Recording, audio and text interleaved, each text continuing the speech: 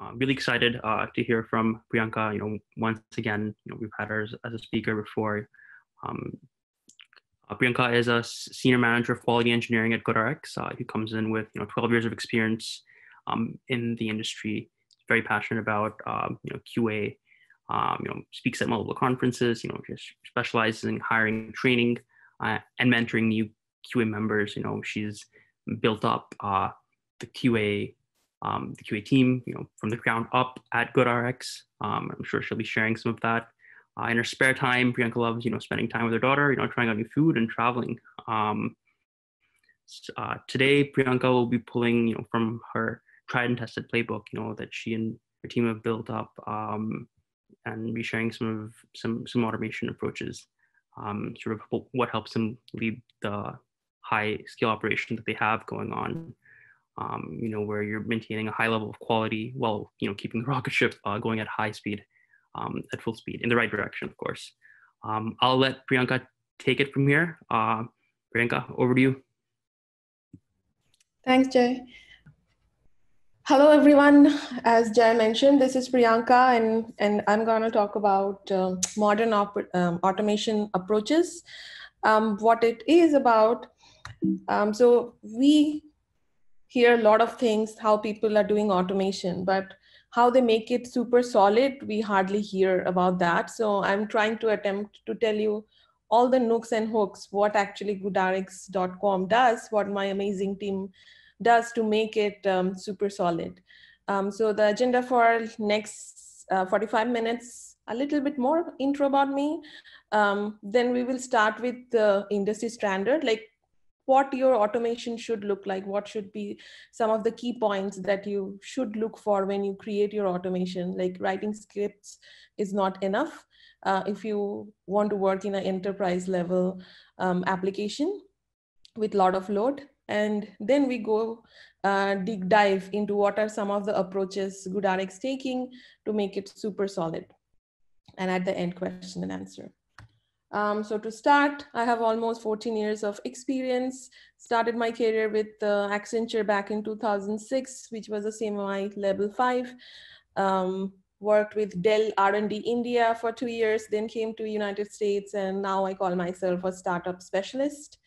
Um, in 2019, I started my speaking career. My first talk was with BrowserStack in San Francisco and uh, after that i just didn't have to look back because i kept on getting invitation to speak about what goodrx does how my team does automation what we are doing um, so i mainly talk about a lot about quality engineering what some of the um, cool stuff happening in our industries, a lot about automation. Um, I'm a great fan of AI ML tools, so you will find some of my talks on that. And then um, there is one more talk I'm doing on Monday for test Leadership Congress on uh, some leadership learning. So do come join that as well. And uh, last but not the least, I'm on a mission to prove that there is no bug-free software in production. So if you want to uh, follow me on Twitter, you will find me posting a lot of bugs from various uh, big applications um, and some interesting one, how it uh, makes it to production, though they have very big uh, quality engineering teams or good practices. Um, so I usually start with a cartoon. I have a three years old daughter, uh, four years old daughter, as Jess said. So uh, this is in a nutshell what I do, quality engineering practices. So I join a company where they're playing a game of mole, where every time a bug happens, they just try to fix it hire more QA engineer, try to fix it, fix more bugs. But uh, our mission as a team in GoodRx is to make it like a game of operation on the right side. So it's like every time a developer touches something wrong, our system should tell them that, Mm-mm, this is not you're supposed to do. Some test is broken, go fix it, and uh, then ship to production. So on a lighter note, let's talk about some uh, industry standard. Like when you start um, writing your codes, what um, what you should look for. So there are four categories you should be looking for. The first one is platform coverage. So you should cover at least top five platform. And how will you know what is your uh, top five platform? Uh, go to your Google Analytics or whatever analytics tool you have, um, and then uh, make sure that wherever you're customers are check it monthly quarterly and make sure your coverage test coverage is giving you the coverage your user needs right? And it's it's astonishing that uh, only 70 uh, 62.5% companies in the industry has uh, five or more coverages. Um, then the next one is quality of your test. So when you have an automation infra in, uh, in place you have to make sure that 90% uh, of the test passes every time, right? And if it is in CI, we actually uh, look for more than 90% uh, most of the time. And only 18.8% in the uh, industry can reach this kind of um, rates. Um, again, runtime, like when you are doing your automation framework, make sure that you are right not writing too big of a test or you are not checking too many points in one test. So your goal will be to make the test less than uh, two minutes right? And uh, only seven only 39 35.9 percent companies um, actually able to hit this uh, mark. And concurrency we know that uh, cloud provider like BrowserStack they give us a lot of parallels uh, we have to buy them.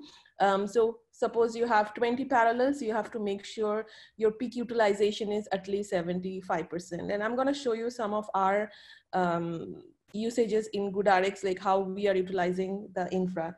And uh, industry is doing pretty good. So 70.9% uh, companies today utilizing the parallels pretty well so given that so if we have to do this kind of like set this kind of very aggressive goal to ourselves what all do we need to do to make our infra work really well right? So my rest of the presentation is going to be um, that. But given that i want to show you some data. So let's start with data and then we move on to the strategies and, and some cool tricks that we do right? So this is first year with BrowserStack um, we actually working more than two years now with them uh, first year, we ran 2.7 million tests whole year, uh, 367 days, right? And uh, this is again three months, uh, beginning of the year. So we ran almost 310,000 automated tests. We have CI pipelines. Um, our no, like goodrx.com, none of the features goes live without running our tests, right? We run almost 690 tests each time somebody um, pushes something to uh, pipeline. And something to look for is the error rate. And like i'm a big fan of my team because something amazing they have achieved. It's 0.14% error rate we have. The pass rate is 94.87% um, and fail is 1.18% and in that failure most of them are actually bugs. It's not like flake, flaky test or something. We do have flaky tests sometimes but amazing stability that we provide uh, using our framework. And on the right side, you are seeing our parallel usages. Most of the days, like we were hitting 100 parallel nodes. Um, so recently, we have switched to 165 uh, because um, we have, like our team has grown tremendously this year. We have hired more than 80 people from January. And um, so like we needed better infra um, to scale. So this is showing like in a daily basis how much test is written. So we have five to 15 uh, releases happening every day. So we almost run on a peak day, we have ran 16,000 um, tests from Feb like between February uh, to April, right? Um, and the last one is again this year session. So you see only six months we have ran 3.1 uh, million tests and right now we are utilizing 160 parallel. So we had uh, 100 till May. In 2018, we actually started with 25 and we are um, slowly scaling it there. And if you see our latest parallel usages, um, we are um, again almost hitting some of the day 160 parallels, but doing pretty good. We are uh, in 75% of the usage most of the time. So now let's talk about um, our framework. So this was our core framework that we started with in uh, GoodRx. We call it our next gen SWOT framework, um, software automation test. SWOT stands for. Um, so this is like a bird view of our automation framework. So we have um, step definition, BDD, page objects, wrappers, visual validations. Um, we use BrowserStack, our infra, our orchestration is through Jenkins and Travis. Uh, we also use Blazemeter for um, synthetic monitoring. Selenium is our core SDK. We use Applitools for visual validations. Um, so this is how the whole infrastructure, and we have uh, awesome cool reporting that I'm gonna show you next. So why don't we take a step back and just talk about why do we need automation framework, right? So automation framework is amalgamation of uh, guidelines and coding standards. So we do need automation framework because suppose today you're starting for a very small startup and you just like to do like some dirty scripting. Tomorrow when the startup grows and uh, you have more teams, more product to support, you will be again starting from the beginning if you don't have an automation framework in place which is scalable right? So when you google you see these points uh, that shows up like you need to have assertions on actions. You should do before test and after test where you do initialization and cleanup after each test. You should be using mocking as much as possible right? So uh, if we talk about tdd which our developer starts with um, then they start mocking the APIs when APIs is not ready and make sure that there is a failing test, right? Keep your configuration separate, um, use abstraction as much as possible, use wrappers. If you use a lot of third-party tools, our SDKs, um, we do a lot. Like we have uh, mailing infrastructure with Mailosaur, we have um, SMS infrastructure with Twilio. So we use almost every cases we use wrappers so that if anything goes down um, on those SDKs, like our infrastructure is not affected. Um, then again, local and cloud setup, if you guys do mobile automation, it's very hectic to do the mobile automation looking like using cloud setup. So have a local setup for that. Even if you are shifting left, it's very, very important that your um, test runs on lower environments, not only in production, um, some debugging features. So log as much as possible so that if a developer is uh, looking for like failures and trying to fix they have enough information and it's not cryptic. Cross browser absolute needed. Like if i give example of GoodRx our customers are on on on ie safari um, chrome mostly. So and again on mobile web. So biggest customers are on mobile web um, safari and android chrome android um, native uh, web. So we have to have at least six browser coverages which we do uh, like seamlessly with BrowserStack, right? And then simulator, emulator versus real devices. I am very fond of real devices because in my whole career, I could not find the bugs I was finding in real devices through simulator emulators. One of the, again, main reason we use BrowserStack because uh, it's very seamlessly, we can run our test on a real device. Our mobile web also runs on real device using BrowserStack and then built-in reporting. So if you can make it super clear, the reports, um, then it becomes very easy for the whole team um, to collaborate and see how our tests are performing. So let's get started. What I'm going to talk about today. So I promised that I'm going to talk about uh, A-B testing feature flagging, uh, local connection versus uh, CDN, cloud delivery network, uh, some cool tricks about how to make your mobile app automation solid, uh, which is capability generator, accessibility, ID parity, uh, debug capabilities. And then in the end, we're gonna touch a little bit about the AI tools we are using to make our test super solid. So let's talk about A-B testing. What is A-B testing? So this is my favorite question when I interview people in my team. And I guess 95% of the time people have no clue um, what is A-B testing. Um, but when you are working for a company like GoodRx or even any startup, because they are trying to prove themselves in the industry, right? And they have to rapidly change and understand what users want. So they do A-B testing. So A-B testing means think about the main site as your control, like in the left side, um, and then suppose you are releasing a new feature, you will release it as a variation. So, and only some percentage of your user will hit that variation, right?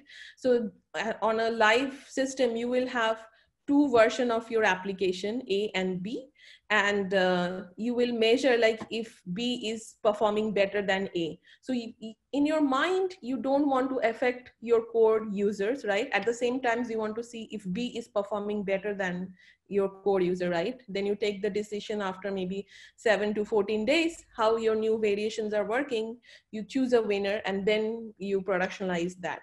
But in between that seven to 14 days, both your applications will be um, in your productions, right? So both, uh, some of the users will be hitting A, some of the users will be hitting B now come this challenge in automation like how will will you make sure that uh, this kind of system um, has no bugs, right? And your automation is able to understand like which flow is it going through. Um, so that I'm gonna discuss in my second slide. Let me touch base a little bit about what is feature flagging. So feature flagging is again similar to A-B test, but here suppose you're working on a very big feature and you can actually put that feature in production, but it will be behind a feature flag which is not on. So behind the A-B test where I'm saying B version will be 0%. So no user will go through that flow, but it's on production. Again, as a QA team, we have to make sure first the feature flag works, right? When they're saying off, it's not showing up on production. And second, we have to thoroughly test it with our automation and QA team and then push it to production. So what are the challenges when it comes to A-B testing, right? Like again, as I told you, uh, dynamic routing, uh, because um, like how will you know, like how will, you get a deterministic path that which flow it will go, right? And uh, it can pollute your code if you have too many if and else statement and you can introduce bug you can forget to remove that code if you're writing in your um, own like the uh, main core framework. It can slows your test down and make it very very fragile right? Um, we also have to make sure it's uh, fault tolerant because when suddenly they take down the test or suddenly they turn the feature flag on we have to make sure our tests are in place to for the core functionalities. So how do we do that uh, these are some of the very cool techniques that we do. And in the left side, you're seeing our, uh, one of our actual tests. Um, so what we do is we actually create a separate folder, A-B test folder, where all our A-B tests are resides together. So that way we have a clear view. What are the A-B pages uh, currently we have test on. So once, if they turned off the test, we periodically check and remove them from that folder, right? Easy to remove. The second one, we use tags heavily. So when you look at the, on the top, it says at the rate AB desktop, home subtitles equal to homepage sub, subtitle variant. So using that tag, we are saying this is the variant we're gonna test. So please uh, pass this as cookie and uh, get us land on that page, uh, homepage with which has this subtitle variant, right? So use of cookie, we are testing um, everything. One more thing to uh, make uh, very clear here that you have A-B test. Um, let, let me actually show you our website with um, example, one second. So here, so if you look at goodrx.com, suppose this is the new feature they're launching, right? See an online doctor. So only some of you will be able to see this. But in this variant, you have to make sure that our search is working, our save big on is working, and our recently view uh, things are working too. So when you are setting the cookies, you have to make sure you are selecting the right test and you are not forgetting about your core functionalities as you are testing the new uh, feature too. So that's how we do it here. So we run all our P1 tests um, using the new variant. At the same time, we add the newer test as well. Let's talk about the next one. So again, here is the automation approach. So this is the split test rest desktop home, and this is the variant. We just pass a cookie at, at the rate, and then it bypasses all the other variant and just gives us this clear variant we are asking for. I'm gonna show you a 20 seconds video how we are doing it using um, BrowserStack, and it will be clear. Look at the actions that is happening here on the right side. You will be able to see, see how coolly we are able to do the A-B test.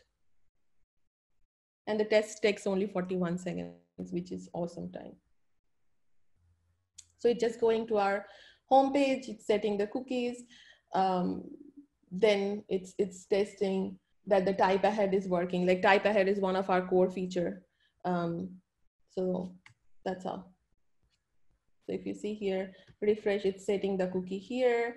Uh, so now it is on a, a, particular variant, then it's, it's just testing that, okay, the type ahead works. Awesome. Uh, now let's talk about the next challenges. How many of us just go to production and test? I guess very few because the production test called uh, synthetic uh, monitoring, right? Like we don't do as a QA team, we don't test on production all the time. Like we have to make sure we test in lower environment, right? And uh, that's a challenge because most of the company has security policies and if you have internal environments, uh, you have to make sure you are able to reach uh, a cloud partner, right, BrowserStack from your internal environment. And for longest in my career, we have used uh, local testing with other vendors and it sucked the blood, blood out of me because it was so slow, right? So what are some of the modern approaches you can take to make it awesome? So what we do is we use our CDN, which is content delivery network. But let me talk about the local testing that BrowserStack offers. Pretty cool. It's just like you have to set up a desired capability um, saying local testing equal to true. You have to whitelist some of their um, IPs from their servers and uh, that will create a tunnel between your server and there. And uh, you, you could run like access it from your local um, local servers or internal um, websites, right? But that sometimes bring in latency, it can bring in dependency. So suppose, uh, though it never happens, but if some cases, um, if some of their service center is down or there is any security issue happening, like you will not be able to run using local testing. So how can you make a redundant solid infra, which is not completely dependent on your third party, right? That's how we do it using CDN content delivery network. Um, so to name a few, Fastly and Cloudflare is example. So what they are, they are is a they are the proxy servers which is in between our local um, and uh, BrowserStack uh, whenever we, we create a request from BrowserStack, it, it understands that request and then it routes to our internal um, infra. Um, so it, we also use uh, CDN for a lot of various cases, like for high availability, for load balancing, for detecting bot traffic. And I'm gonna explain you a little more um, as we go over like how we actually use it in our automation approach. So again, uh, so if you look at this, uh, this thing like this left side, just think of it as a BrowserStack um, web request. So when we request from BrowserStack, suppose goodrx.com, we set an internal cookie in our header. And then fastly, like our CDN reads that cookie and says, okay, this is not a bot. This is not a crawler. This is actually a test that is coming in and I'm gonna reroute it to the page uh, if it is A-B test, if it is anything particularly we want, any environment, it will gonna go and route it and give us the page we want. So again, on the right side, I'm telling you how we are doing it. So you have to have a fake page first, which you will be um, loading with your base URL. You will be setting the cookie because that's how Selenium works. And once you set the cookie and request it, it will hit our um, proxy servers through Fastly and and then we it gonna read out so what are some of the problems that we real-time problems that we solve using this infra right so some main problem we had uh, in the past was geolocation so goodrx.com only works inside um, US. It does not work outside US. So when BrowserStack started becoming big, they they launched their server from Ireland, and suddenly all our tests started going to Ireland, and it started failing, all our pipeline failing. So just think of 16,000 tests failing in a day and we were running for our life. How do we solve this? So again, we solved this using CDN where for what we do is we set this cookie. We tell fastly that okay this is coming from BrowserStack does not matter where it comes. We set up a rule which which accept the gdpr whitelisting outside of us and then it maps with a uh, santa monica ip so it actually fakes the ip so that we can uh, like we can get our test running on us and get the geolocation set up correctly. So super helpful super handy. The other issue we ran into is CORS So our website is made of various different systems, right? Content, web, mobile web, and blog. And, and uh, Fastly is routing it based on um, whatever page we want to hit, right? But again, sometimes in lower environment, um, it's not might be set up correctly. It, there might be uh, environment mismatch. So suppose I'm on content page, I'm trying to go to the um, mobile web page or blog page, but it's actually trying to hit uh, production instead of um, test, right? That time CORS issue happens. And again, we resolve it using a CDN and then header whitelisting. So we have to make sure that we that like there is no ddos attack happening. There's no broad uh, crawling right? Because then our number of um, requests will go up. We already have 19 uh, like 13 to 19 million uh, people using our website in a month. So we have to make sure that we are uh, making sure that crawlers are not crawling at the time when our user uses right so again, we do that using this Fastly configuration. Uh, some other benefits that this Fastly configuration gives is when we set this internal cookie that helps us um, uh, actually tell our, our data system, our web analytics like GA system that this is a test, don't count it for a real um, real uh, user, right? Because our tests are running 24 by 7 as a synthetic monitoring as well in production, like the core tests. Uh, it also excludes any A/B tests. So we can, if, when we set the internal um, cookie, we tell them tell our system that disable all the A/B tests that running all over our system. Uh, that happens using that as well. Uh, again, when we need to run a specific A/B test, I'll show you how we. I already showed you how we set that right. Then we also disable service and captcha, like another very big problem uh, when it comes to automation suddenly you will see some survey pages showed up. Um, suddenly some captcha showed up for security reasons right? Uh, our uh, system also has those. And again using the same internal cookie we are telling those like through pen um, through fastly we are telling that uh, please when it is it's a test request do not serve those captcha or surveys to us. Again um, allow access from outside one of the main key point that i told you that um, because BrowserStack has various service center, this is how we make sure that our systems are getting, getting a US IP. So next is line in mobile app automation. It's another beast. And how do you make sure when you're running millions of tests, uh, your infra is, is super solid, though you're dependent on a third party like uh, BrowserStack, right? Um, so these are some of the cool core features that we do.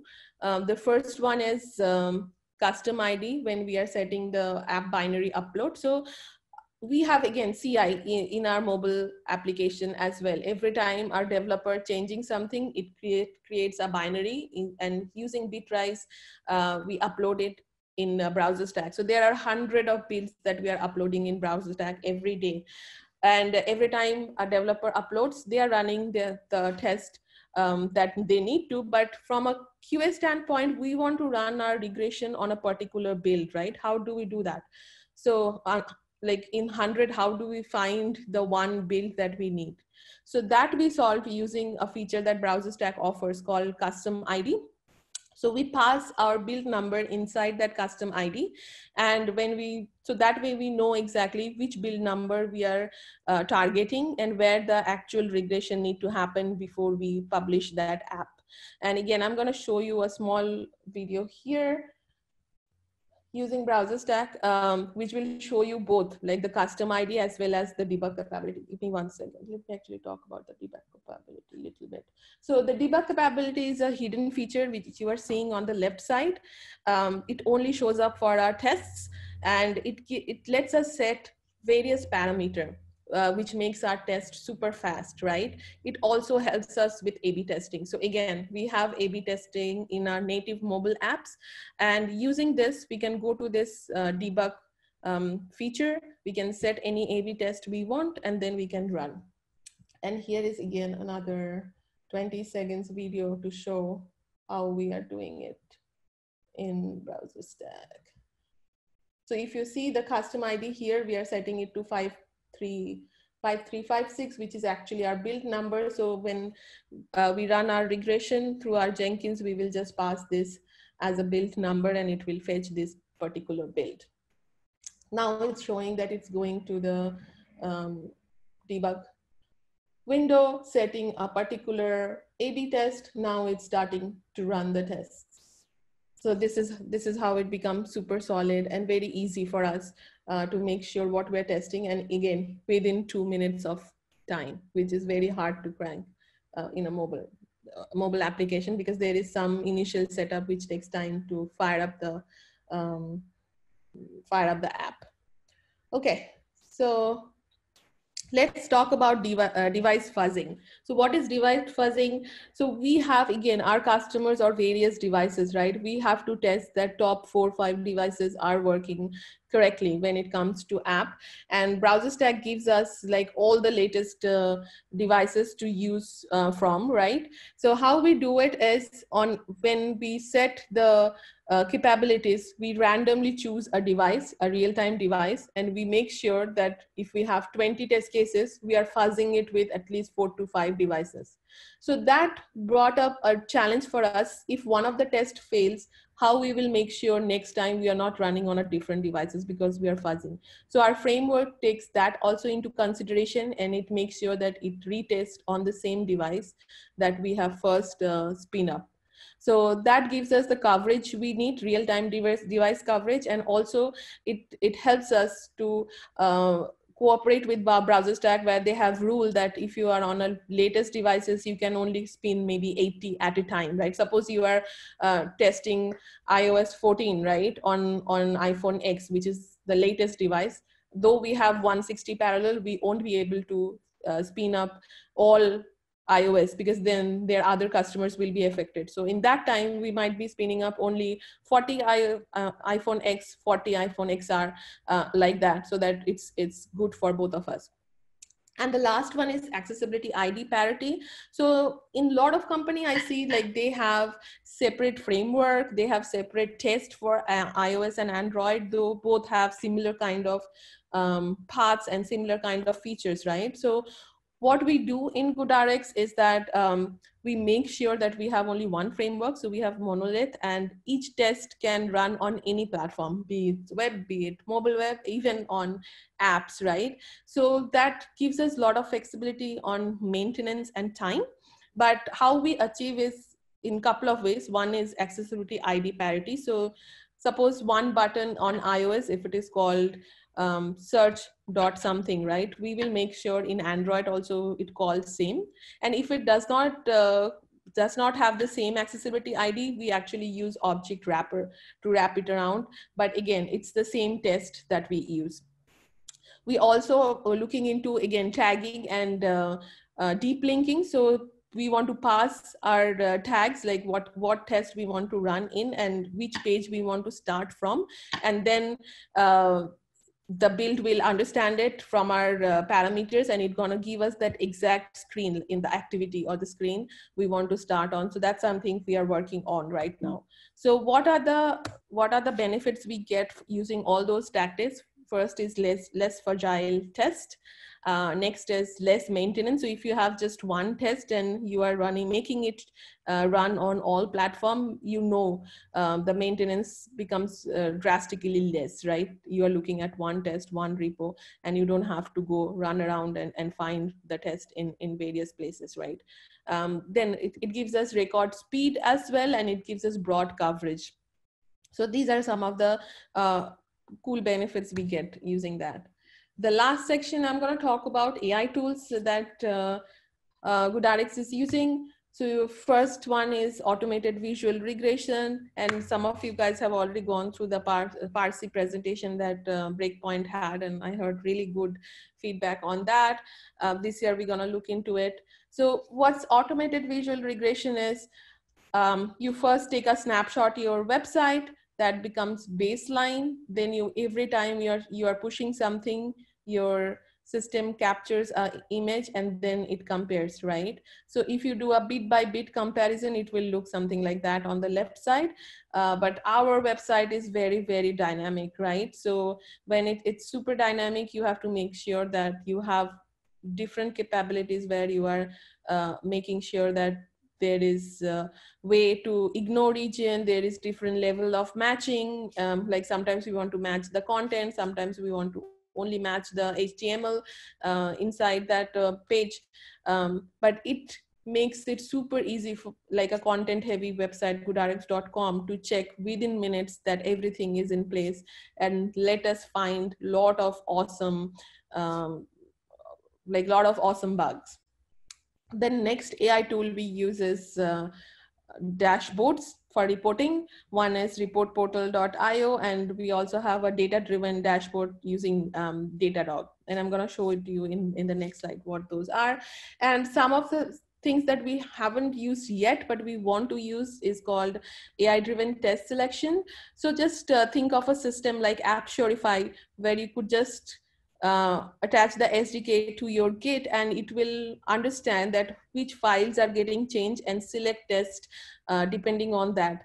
I think being a QA engineer, I a lot of times see my team struggle and they want to run every possible automation on this earth um, and make sure that everything is pass passing. Like that's how we operate. We want to get that um, assurance that, okay, we are not missing anything, but utilizing this kind of AI driven test selection can drastically improve your test time where you are not over testing stuff that you are not uh, need to right? So it, it it actually learns over the time depending on who are who is the developer what files are changed what time of the day you are pushing that change. And depending on that it actually selects the test which is pretty cool. And we will be running POCs pretty soon on that so coming to the reportportal.io, this is this is the left side is the screen. This is like a one-stop shop for uh, GoodRx developers and QAs to go and see that what are the builds running, how long it took. Um, if it fails, the, uh, the st uh, stack trace is seen here as well. So super easy. Uh, I recommend it, uh, it to everyone. Like if you want, if you are looking into dashboarding, look at uh, report portal. Uh, it also, again, it has machine learning. So over the time, it learns um, what if it is an environment issue or if it is a real bug and it tells you. So again, awesome. We are using it for last few months and seeing great results. And at the right side, you're seeing our data uh, Datadog dashboard. So it's very, very important for us um, to know that what tests are slow. So it's like some of here you could see that if we are checking how long it's taking and what are the tests that is super slow. Which browser is the most slow browser? Everybody knows. No guess. No price for guessing. It's IE um, again, what time of the day we are running most of the test, how long our builds are taking. So when you have this kind of infra to monitor your own tests, uh, it gives you excellent benefit to know your weak points and where exactly you need to work next to make it super solid. Uh, again, some of the benefits from those tools is component level testing, whole screen testing from visual validation, less repetition because the system learns by its same speed. Like using visual regression, we have achieved like it used to take us six hours to do regression. Right, right now we do less than six minutes. Um, and again, it has improved quality tremendously.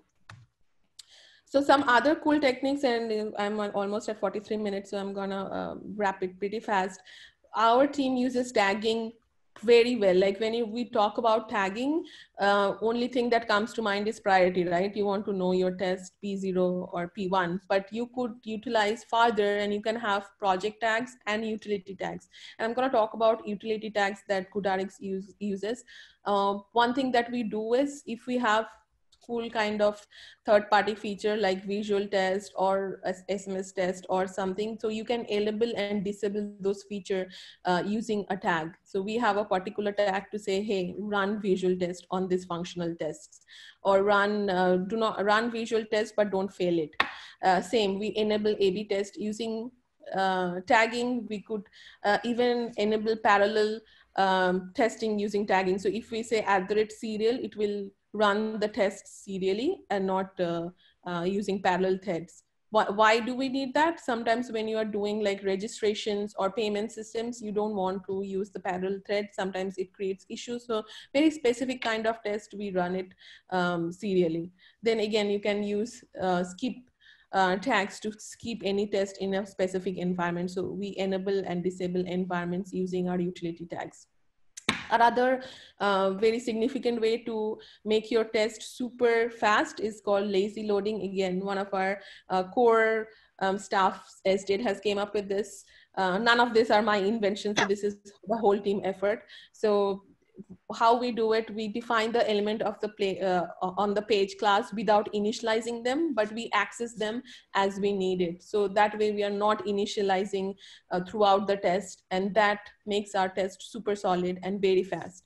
And already spoke about third party wrappers. So uh, again, like if you're using with third party please use object wrappers so that like if they suddenly uh, upgrade their SDK, you don't have to upgrade it and the failures will be graceful these are some of the references and uh, that that's uh, end. I write blogs on my website, free Pretake Mom. You can connect with me on in Twitter, pretty active. So last one year after I started speaking, have 400 uh, followers there. Super proud of all organic. So uh, do hit me up uh, in, through any of these chan channels. If you have any further questions or if you want to see any code snippet, uh, how we are actually implementing them, I'm more than happy to um, connect with you and show you. Thanks, Priyanka. Uh, I think that was that was a great uh, great talk. Uh, you know, thanks for opening up your playbook and you know going into detail uh, with all the different parts. Um, to your point about questions, there are a lot of questions, uh, so we should uh, get to those. Um, I think you showed a bunch of metrics. Um, we have some good questions around um, around the metrics. Um, first off, uh, where are you sort of getting um, this data on you know number of tests that you've ran um, and the ones that are passed and failed? Where's that data coming from? That's coming from BrowserStack Analytics page. So BrowserStack has an analytic page which shows you uh, how your system is performing. Uh, we are not doing anything thanks to BrowserStack they have created that capability. So all those screenshots are from BrowserStack admin portal. Um, or like I have reached out to our um, our account manager Ritvik and, and got the last two ones, but like this something that BrowserStack uh, takes care of and it's super helpful. Like when we go and see that we have only 0.18% failure, that's mm-hmm. amazing to look at. And we make sure as a team, we are like continuously monitoring and seeing. So that is like the external dashboard and the mm-hmm. internal mm. one I showed the Datadog. So we are actually, every time we run, we are sending this data to our Datadog um, systems, right? So, and there we have specific uh, ones that we want to understand. Like we want to know mm. which test is flaky right which fails like which doesn't have a pattern just fails yeah. sometimes. And why is it failing? We want to know which browser is the slowest so that like we can go one step further and refine maybe we will not run a heavy test on that browser just the core functionalities so that we are doing using our uh, datadog dashboard where internally we are monitoring each test um, through that. Got it. Um, question around i think you'd mentioned um, sort of uh, reaching like a 90 percent uh, pass rate benchmark. Um, right. How did you sort of come up with that number? So this was actually ran by one of the competitor of BrowserStack last year, uh, using some of the biggest companies like Visa, Mastercard, um, some more. And I can again share the link on my website or through my Twitter um, link. They actually came up with uh, the benchmarking the industry benchmarking. So as a QA leader, I always uh, go through all these reports and make myself uh, very aware that where the industry is. I encourage everyone to do that. Um, and through using those reports, and there are various, I just chose one of them because I follow mm-hmm. them, right?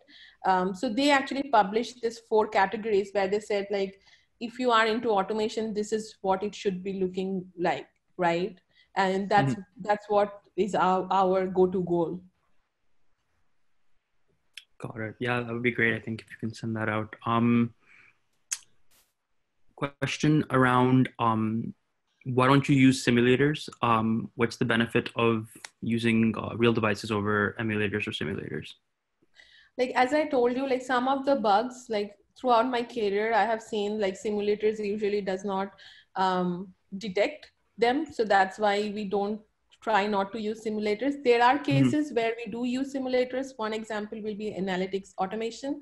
So there, if we are not able to uh, get the proxy to tell us the HTTP um, events, right? HTTP status back with the events we are looking mm-hmm. for. We use simulators there, but very specific. When it comes to functional testing, we use real devices, and and that's why like BrowserStack is our very good partner in that because mobile web also we run in real devices, like firing up real devices and not um, simulators. And it's astonishing how much bugs we can find. Um, running it on a real device exact device that our users are using right again we look mm-hmm. into our mm-hmm. GA, Google Analytics, figure out where our top uh, users are, and then we run it on that. And the benefit is that all like the bugs they are supposed to get, we already find it beforehand. Um, another question, um, this is sort of going into the flagging. How do you manage, uh, uh, how do you manage um, features behind uh, the combinatorics behind uh, the switches, um, the ones that are not accepted for final release, um, even if it's just five feature switches, um, you know, regarding each feature as non-interfering and non-interacting. So there are two ways. I, I showed it in my in my mm-hmm. um, presentation, right? One is when we set the internal cookie, right? That actually tells our system that disable every possible A/B test. It actually takes us to takes us to the control page, which is like the main right without any variant. Mm-hmm. It takes us so you will not see any any uh, A/B test. But when we are testing a particular A/B test, we test it using the tag that I showed you. So we're gonna set that particular A/B test uh, using the A/B flags, uh, A/B tags, and uh, that way we actually reach the page that that we are targeting to test so suppose there are five different tests running we're gonna have mm-hmm. like five different ab folders and five different uh, tags and each like for each variant we're going to run through our core test to make sure that nothing is broken right at the end of the day like searching drugs going to price page and uh, emailing coupon is our bread and butter so yeah. if our if if our product is running suppose uh, five different A/B tests on main page, which is home page, right? We have to have all the core tests run on those different different variants, and we set that variants using tags. And again, that tags uh, becomes a cookie behind the scene mm-hmm. and tells fastly that okay, uh, please make us land on this A/B test variant. Got it. Thanks for answering that. Um, could you please like uh, share sort of the practice that you follow, um, you know, in logging from the time that you log a bug uh, to make making sure that it's actually fixed? Practices will be like there are different. If it is a production bug, again we have a, a whole system, right? Where if it is a production bugs, we open up a Slack channel it, depending on the uh, priority of the bugs it gets gets uh, get work out like really quick yeah. uh, then it comes to the qa and it goes to production right as a patch mm-hmm. but if it is a lower environment bugs again we have a whole kanban process happening jira ticketing happening. I have like dedicated qa for each verticals. Uh, they are very embedded in a team. So they come up with the priorities. If it is if it is going in the same sprint or a very different sprint and then um, they go uh, fix it and make sure that it's making it to production. So again, like inside whole GoodRx QA and developers are one team, right? Uh, mm-hmm. depending mm-hmm. on the vertical and squad, uh, they decide by themselves where exactly that bug is and how they will be fixing and making sure it's not making it to production. Uh, we do a pretty good job at that. If the question was through our automation, like every time autumn pipeline fails, the developer goes and checks if it is a real failure or a flaky. If it is a real failure, they create a Jira ticket, uh, fix it, and then only they can push it to production. So they take our automation pipeline very, very seriously. Like if it if doesn't pass, it, it will not go to production. Awesome. Thanks for that. Um, we have a question asking for your input on um, for a QA specialist, uh, how do you recommend them spending uh, their time between, you know, doing exploration tests and, you know, moderate monitoring um, test automation between the two? So how uh, like i preferred it as as like i have completely again separate test same as the previous uh, speaker told right? Like i have a qe engineering team and a state uh, in each uh, vertical each team. So i don't think it is possible like if you want to be automation specialist to do manual testing at the same time be perfect mm. on automation right? If your goal is to become automation specialist and SDET, you eventually have to run the test first manually and like run it understand it and then only you can automate it right? So the like exploratory testing will become uh, like will happen in the beginning right? When you are learning about what test you want to automate and then you you dig dig down and deep and uh, you start automating it. But i would suggest that understand what is your interest in like what interests you. Are you a qa rockstar and you want to be an exploratory tester um, and and not an automation engineer though like automation is is like required in today's world but not you don't want to be a specialist right?